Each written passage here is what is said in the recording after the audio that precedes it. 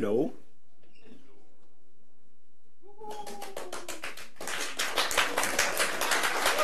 Thanks for coming and goodbye. Well, first of all, I have to apologize. I have a cold, apparently, and my voice is doing weird stuff, so I'm going to sound awkward during this talk. Um, okay, my name is Sebastian König. I have a little studio in Leipzig where I'm doing a little bit of VFX, a little bit of um, Blender stuff as a freelancer. So I'm using Blender professionally. so I'm a professional. Um, maybe who of you used the tracking tool in Blender already? Okay, who didn't?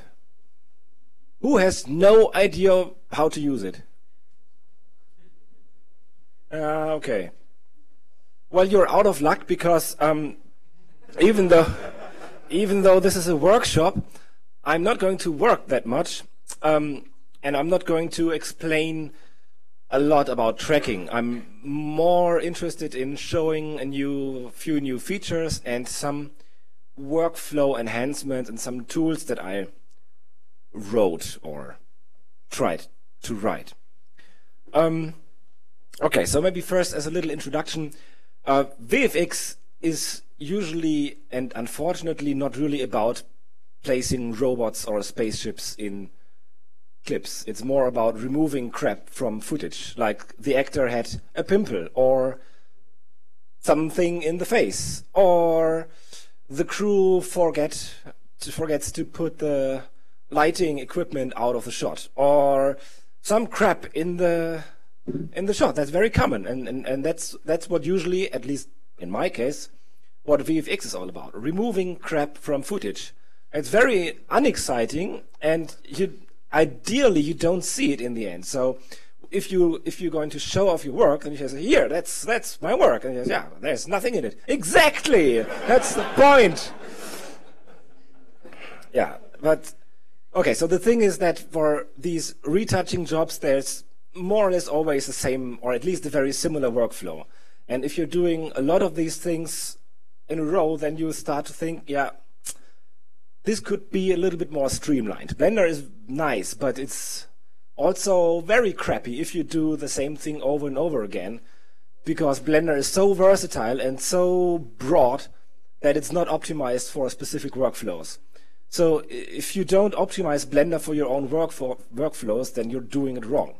And I was doing it wrong for a very long time. So I finally started to to get a little bit into Python to be able to make Blender a little bit more streamlined for certain things.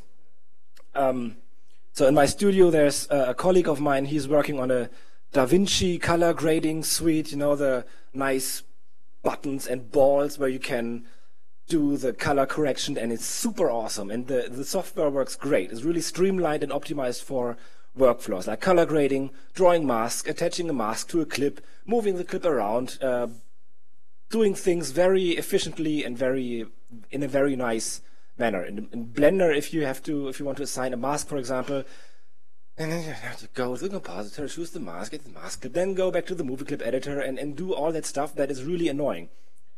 Excuse me. So part of my talk will be uh, showing a few tools that I I'm trying to work on to to improve the situation. Um, first of all, though, a little bit, little bit of the new developments in the Blender tracking tool in the movie clip editor. So I'm just going to demo a few things. Um, for example, how you can not open a shot. Oh yeah, by clicking the right buttons, you come to this panel and you can open up footage. for example, um, which one? This one, for example. so, the first thing is the new full screen mode in Blender, which is very nice. Thanks, Dalai. So everything's gone, and that's like really nice because you're not distracted. And then the thing is, let me go out of it again. Uh, starting to track, you always have to do a couple of things, like prefetch it into the memory, um, set the number of frames and all that kind of stuff. So you, you're always fiddling with all these things and all these buttons and they are all over the place. And now we have the tabs, so you have to go into the tabs and search for the stuff you, that you use. So this is so much nicer because you don't see anything. Um, but thanks to the new pie menus, thanks to um, psy-fi, uh, we, we can just do that and uh, have like very clean interface. And if you want to use a tool, then you have your pie menus, at least if you, you have to write them yourself currently. So the, the functionality is there, but it's actually quite easy to, to put tools into the pie so they can, so you can use it from there. So that's, I've been working on these pie menus for tracking since a few weeks already. And I realized that optimizing workflows can take a lot of time, like trying to optimize the tools really for certain workflows. So it's an ongoing project to do that. But anyway, so that's pie menus. It's very useful. Um, and then if you if I want to track this shot, maybe let's first have a look at that. So there is this thing in the middle, and it would be nice to to have the geometry. Maybe we want to light a fire there. So the first thing that we need to do is to track, obviously, the camera. So now that I'm in this clean setup, I don't have my tracking buttons. And I can't remember the tracking shortcuts, but I can remember at least three letters, like W, Q, E. I can remember those. So I have all my tracking tools on these buttons in the pie menus. So I can track this marker now, starting from this frame. Um, apparently not really. No, there, there we go. Okay. So these these these tracking pies that I've been working on, they are especially for tracking, like really I think they are very useful because you have to track in a certain direction, track forward, track backward, go to frame one, go to frame, go to the end frame. So the the pie menus. By the way, who who used the pie menus already? You tried it, okay. So the way that these work is um, you you launch the pie menu and then you can just while you're launching it, you can drag with your mouse into a certain direction, and that will then trigger this command. So I don't have to click there. So if I know I want to track forward, I just press E and drag in the direction that I want to track. So it would be, uh, if I go to frame one again, like uh, place, uh, come on, this is such a tiny interface. Yeah, click and drag in that direction. If I want to track backwards, I click again and drag in the opposite direction. So I can very quickly place my markers on places where I want them to have, uh, where I want them to be, and then they pretty much do what I want. So um, one of the things that I also usually do is to uh, switch between certain types of motion models. So if you have like an easy shot, you probably get away with the default setup if you only track the location of one point. But if you have um, a moving camera, then usually the um, the feature that you're tracking is deforming in space. And in that case, it would be nice if the marker would do the same movement so that the feature is looking the same to the tracker. In that case, you can use affine tracking. Sorry. And usually, you would have to go to the track panel, do the tracking settings, go to the menu, click there, no, there, and then um, choose the option, which is great. I mean, this is a, tidy interface, sort of. So everything is put into little boxes, and if you know what you want to do, you just say, "Oh yeah, I want to do in, in that box," and then you grab the tool. So it's you, you can find it if you if it's a little bit logical uh, organized, then you can find the stuff. But that's not great for a quick workflow. So if I know that I switch between location and affine a lot, then I can just put these two options into a pie menu uh, and can drag to the left, then it's location based. If I drag to the right, it's affine tracking. So this is now using um, if I do that, it's now using affine tracking. So I can track this forward And here it's not so apparent, but if I track something on the floor and set it to affine, then it's going to deform with the footage. And that's going to stick much better to the floor because uh, the feature is very precise, as you can see here. So it, it's looking all the same all the time because the feature is being distorted together with the footage. Okay, currently I have to do this over and over again, um, but it would be nice if I could say, this is my new preset. So what I can do is to launch my pie menu and say, this setting is now the new default. So I can just drag in a certain direction and now this will be my new preset. It's a little bit too too big though. So I can now track that again and it's using affine tracking. Um, another thing that, that is something that you commonly have to do is to uh, clear a path of a certain track. Because looking at this one, you can see once it touches the, the border of this thing, it starts to slide away because uh, there's something getting in the way, and this is not what you need. So I can either go to the frame and then go out of full screen mode, go to the track button, uh, clear in that direction, or I launch my track pie and drag in a certain direction and it will clear the path from there to the end. And is still too big. So this is very nice for a workflow and it makes everything faster. Um, and once we have eight, at least eight markers, we can then start to solve the shot, which usually usually would mean that we have to switch the tab to the solve tab, then search for the tools, or we just say Shift S for solve, and then we have the solving pie, where we can first enable refinement, so that Blender is automatically figuring out the focal length or the uh, distortion parameters, whatever we want. We can, we can launch that from the pie menu and then solve the camera. Oh, first we have to set the keyframes. And this is also in the in the tracking solver pie. So solving the camera will give us, in this case, a solve error of 0.3, which is really nice. But in 3D view, I still can't see anything of that. So therefore, I have my reconstruction pie. So I can first grab three markers on the floor and maybe these ones and say set up a floor plane maybe track even one more marker here quickly track that not taking very long then after that I have to solve again. Um, and now I can say this is the origin, this is the y-axis, and now I'm going to set up my tracking scene. And if I now look through the camera, like everything's there. So, and if you want to do this very quickly, you can do this in, in a minute or so. And I can even render that and have a working composite because of the way the setup tracking scene works, because it's setting up an entire node setup for me.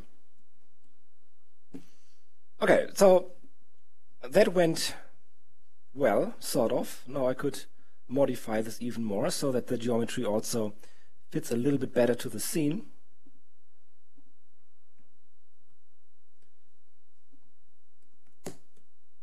Oh, we don't need that. So we have a floor plane now. And the next thing that would be nice to have is um, a model that looks similar to this geometry. Now we can model that, or we can let Blender model that by tracking a point cloud. And the point cloud tracking, um, we, we could just place markers there and track those and then solve everything. But if you solve a scene with many markers, then the solving will be very slow. And if the markers are not doing what you need them to do, then it will mess up your entire solution. So you would have to do it all over again. But if you use zero-weighted markers, you can just very easily place markers there. They don't even have to be accurate. They can do something. It's not that important. Uh, they should at least track a little bit of your of your footage, but it's not going to mess up your solution. So because I'm now going to add many more markers, I'm going to lock these ones so that they are not tracked again. And I'm going to hide them with H, and then I'm going to first set up one marker, maybe very small, even with a smaller search area, so that it's tracking very fast. And in the in the current Blender, uh, the, the pre-pass, which is a certain way of uh, for tracking a feature, you pre-pass, uh, it, it's a brute force algorithm to, to try to match the marker to the previous frame. Um, this is going to take long, at least if you have very much, a lot of markers, then it can take very long. So I want to turn it off. And since I'm still ideally working in the clean full screen, I want to uh, do that with my tracking setup buttons. So I can just launch the pie menu for that and disable pre-pass. And you notice that it's that the pie menus are very flexible, so you can also place your your own icons in them, and you can make the icons respond to to the setting. So if the pre-pass is disabled, it's going to show a different icon than if the pre-pass is enabled. So now it's on, and the I don't know if you can see that the checkbox is activated. Okay, and then the, the, the, this is taking way too much screen space here, the, the marker. So I'm going to change the marker display with a nested pie menu that I have here available in my display setup. So I can just launch a second pie menu and dis disable the pattern area and the search area so that I only have this little dot which is enough for me because I know that there is a marker. So now I want to automatically set up a bunch of markers. And I can do that with detect features, which is, maybe I should quickly enable the pattern so that you can see something. So detect features is something that you can use to automatically place many markers in your footage. And um, that's a nice starting point. However, in this case, I only need them to be here in this area so I can use the last operator and modify first a few things. So with a lower threshold, I have many, many, many markers, but I only want them to be in a certain area. So actually, I have to do it again, because first I want to draw a grease pencil line around the area where I'm going to... I'm sorry for that, that's, uh, that's unintentional. Um, so I'm quickly going to detect features again and then say, damn it. Just do it inside of the grease pencil and I can even lower the parameters even more. So that's that's really many markers. By the way, Sergey, it would be nice if it would also detect them here. So you, there could be a, a, constant or a contrast threshold thing.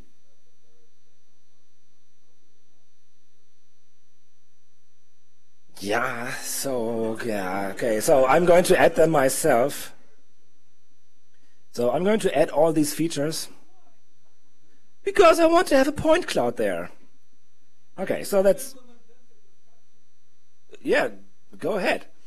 Um, the thing is, I forgot something because all these markers, they still have a weight of 1. And we, we don't have an operator to copy the settings from the active marker to the other markers. We only have a setting to copy the settings from the active marker to the preset.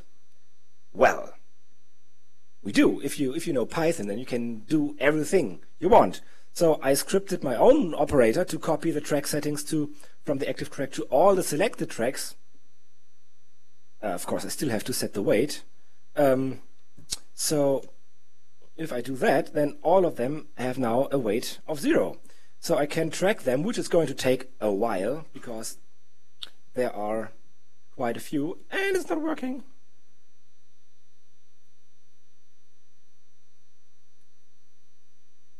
So that's that's a little bit unfortunate. Um, it can be because Blender sometimes sucks with movie files. Sometimes it can help to just reload your clip and reload it into the RAM. And sometimes it's doing it better, but not in this case. Yeah, see? Yeah, it should do it automatically. Anyway, it's it's quite slow. So, oh, and they all use the prepass. Sorry. So I turn this off and copy the no, copy the settings and track again. And now it's faster.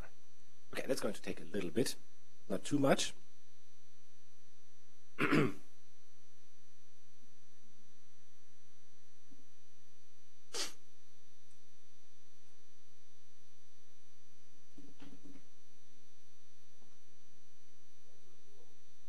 I don't know really. It's weird, right? It's, it's really, really strange. Ah, it's because it's master. Master is just slow. There's no magic inside this. Okay, this maybe this is already enough.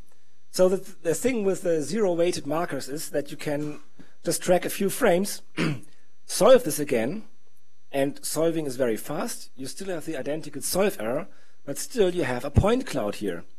And you can use this point cloud by reconstructing a mesh from the markers. And I have to hide all these ones. But there I have a mesh. Unfortunately, it's just points. And I had to search a little bit through the internet to find a script that will convert these, at least some of these, to something that kind of resembles a mesh or like with faces. So um, first I have to rename this Yeah, that, that's crappy. Yeah, yeah, I can. I could drop a plane from above and then project to vertex, but it's not really working great. Um, I, am going to try this. Um,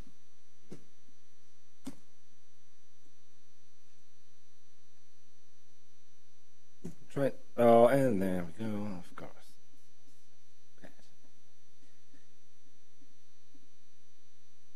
Eh.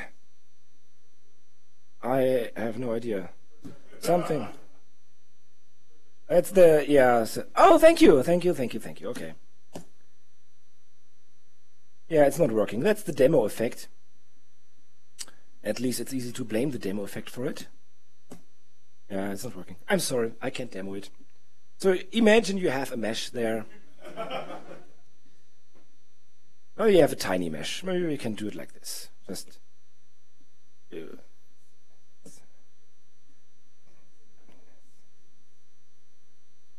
Yeah.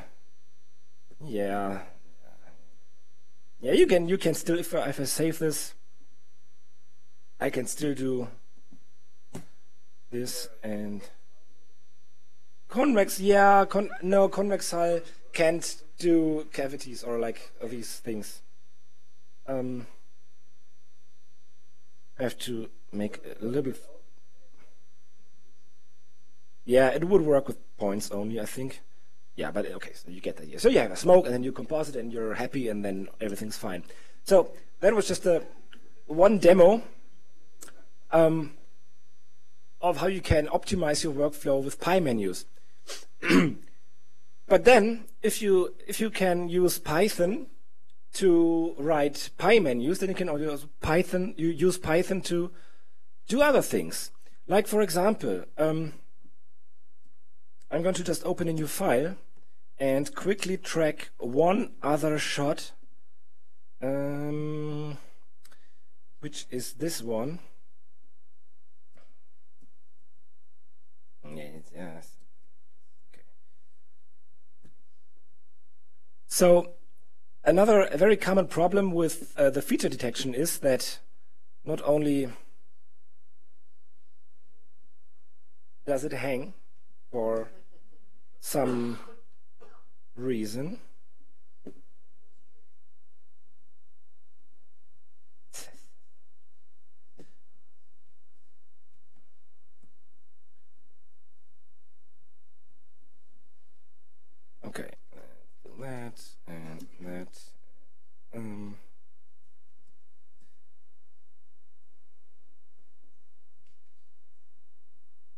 try. Feature detection. Okay, there we go. So tracking many features will inevitably result to jumping markers. You, you see that here and somewhere else, and that is very bad because jumping markers will destroy your camera solution. And then, I mean, you, you can clean this up by hand, like going through all these things. But then I thought, yeah, if Blender can, if I can see the spikes, then probably some math can also see spikes.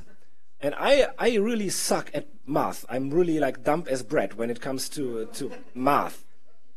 But but uh, yeah, like just comparing two frames and then building an average between some values. I, that's something that I still managed. So there's one tool that I wrote also for the tracking pies is that you can just filter the tracks and erase the, the bad tracks and then you're left with only clean curves. So you can um, quickly uh, set up um, a camera solution with a solve error of 0.2 and set up a tracking scene and then you're basically done. At least if you orient it, maybe. Okay, so, so that's like you, you can have a camera track in 20 seconds with composites.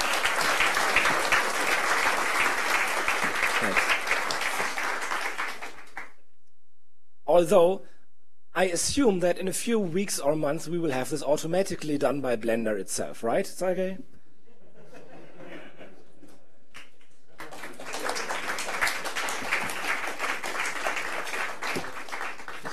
okay. Uh, in the beginning, I was talking about that uh, VFX means that you have to do retouching a lot. So there's one more thing that I want to demo, and that is a little bit optimized retouching workflow so let's say you have uh, a shot with some people in it that you want to get rid of, at least some of them. Um, no, it's crashing. Ah, no. Um, 50, okay. Okay, so the the lady with pink with a, a turquoise sh shirt can stay in the shot, but the other people should just go away. They they they don't fit there, so you want to get rid of them. So first you need something to make your camera fit to the scene, like usually you do. And uh, in this shot, even though I was moving the camera, this is this has been shot obviously from high above with a, a zoom lens or very much zoomed in, uh, a long lens, as you would say.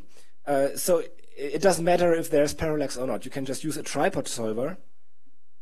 So I pretty much only need to track a few spots in the scene. Um, like so, and that should go very fast. And one of them, this one stops a little bit too early because it touches the frame border, but I can offset it to another place and then keep on tracking that. Um, and since I want to see if the markers are doing the right thing, I quickly mute the footage with my display pie. Mute footage. So yeah, that looks that looks all right. Okay, so then I will set up a tripod solver by using my solving pie Go there, and then I also want to. Oh no! In this case, I want to set the focal length myself. So I'm just going to set it to 200 because this is about the the actual length of my lens. Uh, so I'm just going to solve this and the solve error is 0.4 which is good enough. So I'm going to set up a tracking scene and um, I have to zoom out a little bit and if you have a tripod shot, then there's no 3D information. There's no uh, way to align this automatically. But a tripod motion will stick to anything. You can do whatever you want. So I can just rotate the camera to around the 3D cursor and try to somehow make it fit a little bit to the scene. And it's not really that important. It just has to fit a little bit. Maybe like that. And because it's just like a tripod motion, it will stick to whatever I do with the camera. Okay, so maybe the cube can go into the hidden mode. Maybe also these crosses are a little bit too big, so I'm going to go into the motion tracking panel and make those a little bit too uh, smaller, like that. So, and what I want to achieve now is to, to get rid of the people. So I need a clean plate. A clean plate means a plate that's clean, like an image without the stuff that I don't need. And I'm going to use the, the background layer for that. So uh, first I'm just going to align this with the motion or with the, with the scene. So in all these places where I have people walking around where I don't need them, I want to have a plane that is covering them. Something like that. Sorry. So usually what I would have to do now is to, to unwrap the plane, assign a UV project modifier. Oh, first I have to subdivide the plane. Then I have to project this, bake it, load it into a new material, and if I do that three times in a row, I'm really pissed because it's why? I mean, it's pointless. So ideally, you it's not a pie menu, but it's uh, it's in this case it's a button. So first, I'm just going to project this onto onto a plane, and after that, I want to get rid of the people. So I'm going to into texture paint mode. Oops and can then just paint them away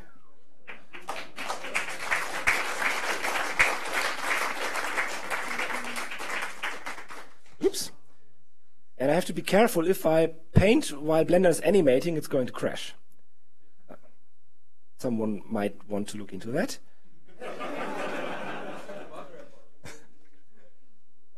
It's not a bug. It's not probably not even designed to do that. Um, okay, there's going to be a report then. Like that, and then for the rest, um, I can just switch to to stamp mode or to the to another clone tool where I can maybe go into another mode. I'm going to background. So I'm just going to clone from itself. Let's clone from over there. And this shot is, I mean, it's of course that's very nice for that because it's you can just clone from everywhere because it's looking all the same. And oops, yeah, okay, whatever. You get the idea, like that. Um,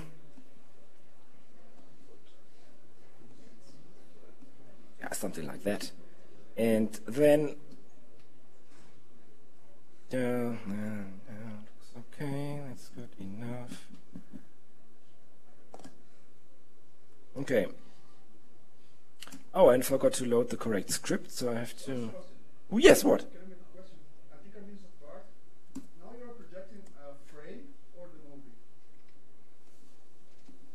Um, I was um, I was projecting the movie and then I switched to clone from self. There's the button clone from image and the image is the footage that is running in the background. Yeah. And by the way, this is on my first DVD. I was, oh no, actually it was on, on uh, Tears of Steel DVD. I was talking about how bad it is because you have to, if you have the background images set to movie clip, and you want to have the you want to paint in full screen mode, you can't do that because the image is not updating.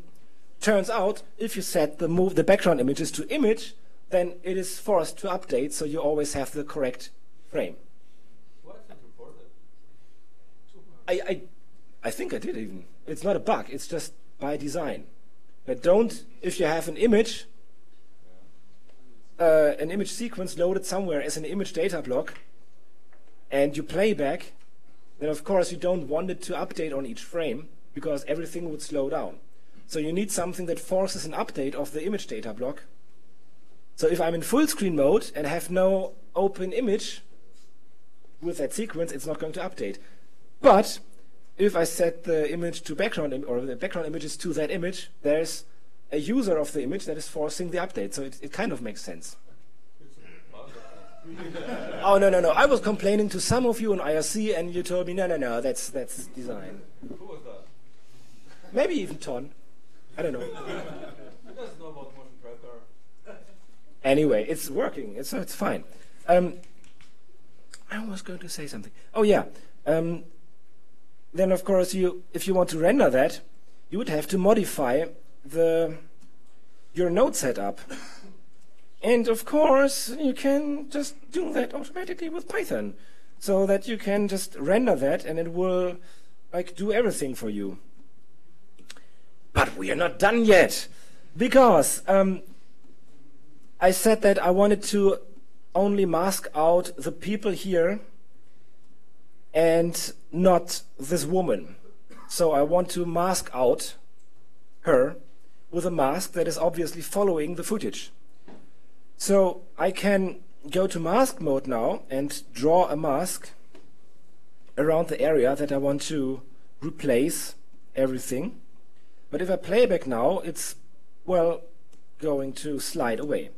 So I could either parent this to just one marker, which might lead to bad results because there might be some perspective shift, maybe not in this shot because it's tripod. But what you can do is to have a plane track that is tracking any plane in your in your footage.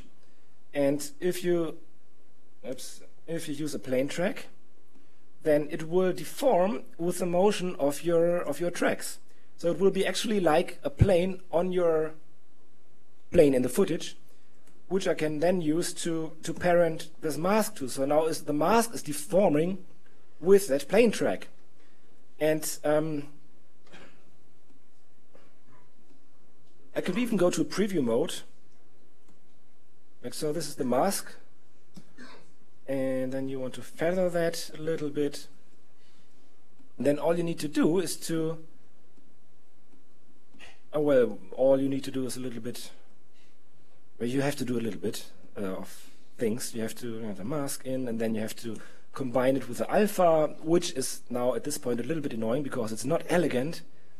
Um, now you have to multiply that mask like that. And you have to invert that first, like so, and then you have to set the alpha, and you have to pre-multiply. Okay, but then it's working. So then you can use the mask to to do that kind of stuff. Of, of obviously, what I have to I have to re-render now every frame to see the correct result because the texture that is masking out these people is coming from the 3D viewport. So it would be much more convenient if I could use the plane track to paint on the plane track. Right, Sergey? Yeah. Just have have a plane track and make it possible to paint on the plane track because it would be amazing. How do you mention this? Hmm? Paint in the clip editor? Nah, well, yeah, that's a, that's a good question. Maybe you could map it to the 3D viewport. Like, have a plane track and make it automatically be a plane in the 3D view. See? Thank you. Okay. Good.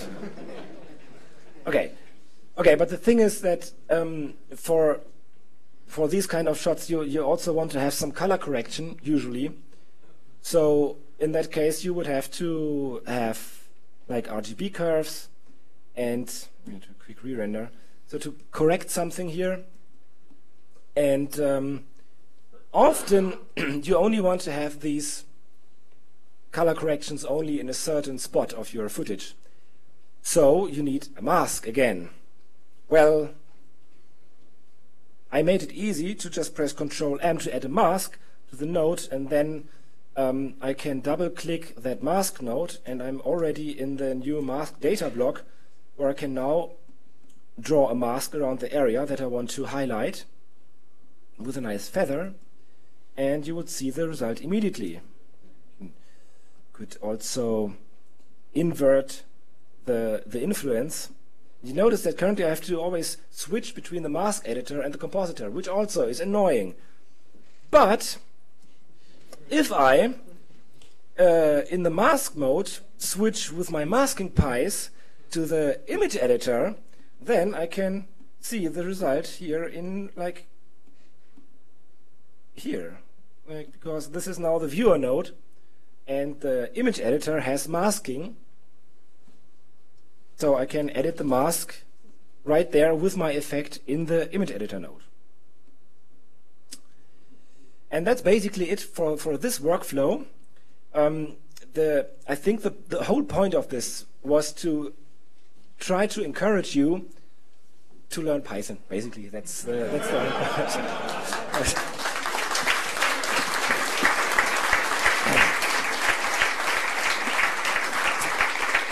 No, I'm, I'm, I'm going to release these on the Blender Cloud uh, as part of my Track Match Blend 2 course. I'm going to work on them, still polish a little bit, but um, at some point I will publish these tools because I think the, the, the workflow can be enhanced so much. There's, there's just different workflows for Why not just move it to master? Yeah, that's a good question. Yeah, why not? Yeah, well, I have no commit rights, so maybe I should ask for commit rights. You just submit the, the, the add-on for every and they give you like Yeah. the add-on. Yeah, that's not finished enough. That, uh, that can be better. I'm, I'm, I'm still working on that. And first, it's going to be cloud exclusive, right? Has to be. We have to do marketing for the Blender cloud, Yeah. or not? Maybe not. It's Blender, so everything has to be open. No, but really, uh, I mean, this is very. This is made for very specific workflows. But the really the, the point is that that it's very easy to, to to learn this kind of stuff. You can copy paste from the entire source code from Blender. There's most of this stuff was already there in some other form. You just have to copy paste, change a few lines of code, and then you have your own tools. And this is really awesome because um, the, the by, by, I think by, default Blender cannot be made for specific workflows. I think the good thing about Blender is that it's so broad and that the the, the interface allows you to to form Blender into the tool that you need. But you have to do it. That you have to do it yourself. Or if you have a studio, you have to have like Bartek, who he would do it for you. Or you have your ideally you have your own technical director who can also write your own tools. Uh, speaking of writing new tools, um, in the last minutes, I want to show something that Sergey has been writing uh, recently with Keir, um, and that's quite awesome. I'm going to just quit the scene. So I'm just going to demo how crappy the current version of Blender is because it's incredibly slow. Like, for example, if you take this shot here, I'm going to set the frame range to 800. I'm going to full screen. do that. So it's 800 frames and it's very long and it's also quite shaky, especially in the end. So this is very, very shaky. So we, we need a very big marker. and because it's so shaky, ideally we have a very big search area. And ideally we use affine tracking. And if we do all that, this is going to be really slow. Like if we, I started to track that, we are already at frame 4. Wow. So this is only going to take like 10 minutes or so. I don't know. But this is current master. This is what we have right now. So that's boring. So instead, the the new version of Blender, which I don't know when we are going to have that. Yeah, as, exactly, as soon as possible. So again, I would set this to 800 frames and prefetch it into the RAM and set up a marker that is incredibly big, like really large, maybe not so large. And it's going to be affine tracking. And, um, and if I track that now, this is like really faster. And it is tracking everything.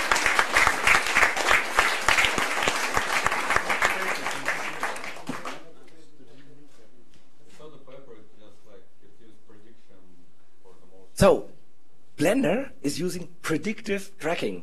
So Blender is able to look into the future and knows, okay, so if I'm here on this frame, on the next frame, I'm probably there. So let's watch over there for the feature that I'm looking for. So, I mean, It, it predicts like uh, like or like one pixel or so. yeah, but, but it's, it's awesome. So you, you, you can only use pre- prediction for this. You don't use So the tracking is actually faster than the playback, which. Look at that! So, um, thank you. Um, and uh, I think the time is over, so thank you.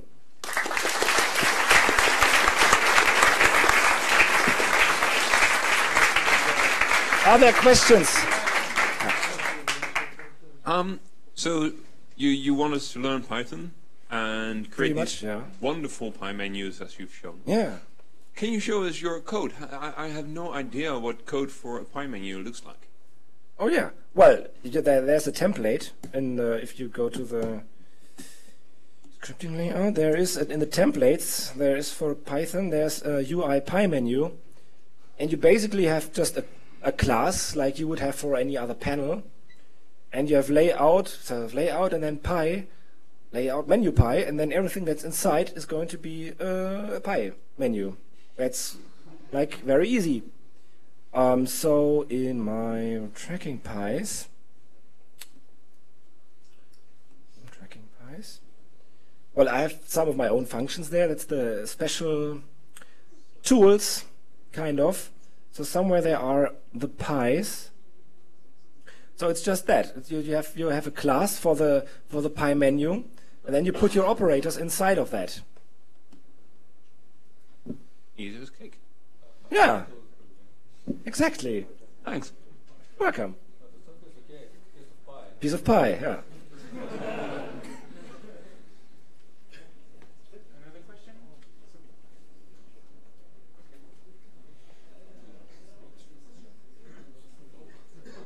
Well. Okay then. Yeah. Well. Thank you. Thank you.